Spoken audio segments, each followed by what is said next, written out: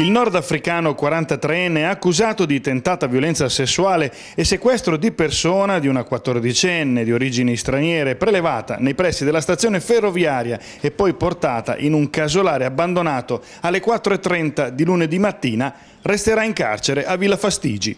Il giudice Giacomo Gasparini ieri ha convalidato l'arresto del 43enne e disposto la custodia cautelare in carcere. Davanti al giudice il marocchino ha negato ogni accusa e raccontato la sua versione dei fatti, secondo la quale la minorenne l'avrebbe seguito volontariamente a piedi fino al casolare abbandonato. Diversa la versione della ragazza invece che nel frattempo è stata dimessa dall'ospedale con alcuni giorni di prognosi per le ferite riportate. Ferite che stando al racconto della stessa ragazza sarebbero state le conseguenze della sua rocambolesca fuga da una finestra del casolare dove l'africano l'aveva portata e abitava transitava illegalmente, per poi, una volta essere arrivata sulla Flaminia, chiedere soccorso ai passanti che hanno attivato il 113. Un episodio sicuramente grave per la città di Fano che però ha, si è connotato anche per alcuni aspetti sicuramente positivi, in primis il, il fatto che un cittadino fanese subito si è attivato, si è fermato, ha soccorso la ragazza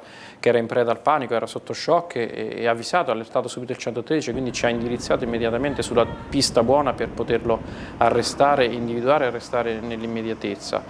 Eh, anche a differenza di altri automobilisti che non si sono fermati alla sollecitazione della ragazza, seppur in estrema difficoltà sulla strada che vagava, seppur ferita, in condizioni molto, molto sfavorevoli.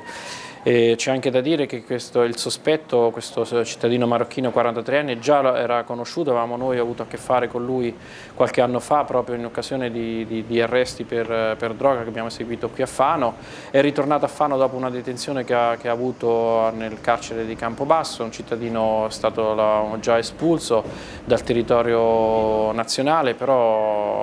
però, è rientrato nel nostro, nel nostro territorio qui a Fano, anche se da poco tempo e quindi soggetto sicuramente pericoloso e che, che soprattutto per quanto riguarda lo spaccio di sostanze stupefacenti.